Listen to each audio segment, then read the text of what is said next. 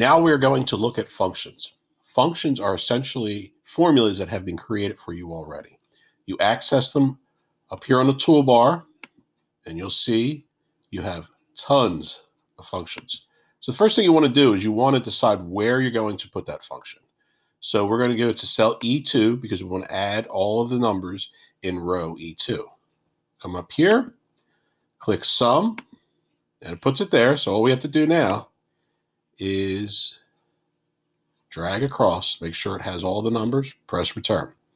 Now I can add or I can copy these cells, but I want to show you a few more times. So sum, click and drag.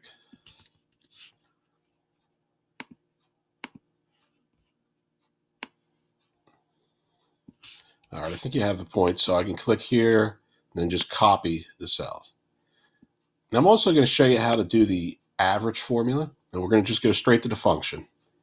And the reason I'm showing you this is because this is something you have to be careful with. You want to make sure when you find the average that you're only selecting columns A through D. Don't include the sum.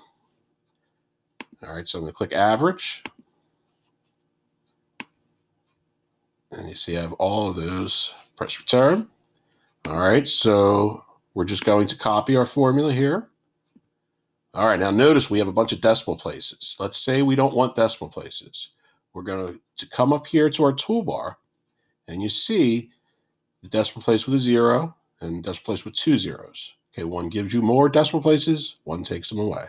So we're going to take them away. And that's that.